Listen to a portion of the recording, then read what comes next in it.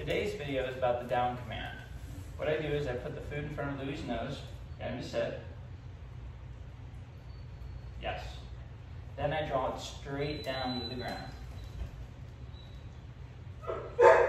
Yes. As soon as both elbows hit the ground, I give him a treat.